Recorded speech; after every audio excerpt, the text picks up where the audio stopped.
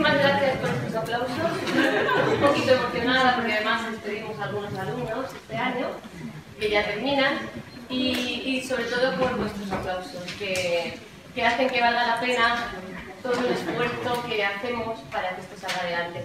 Muchísimas gracias también a nuestra directora, Cristina, que siempre lo pone todo muy fácil, a toda la junta directiva, a Sara, a José Miguel, a, José Enrique, a, Federico, que, está que trabajan un montón porque esto salga adelante y que desde luego todo nuestro esfuerzo vale la pena en una noche como esta. Muchísimas gracias.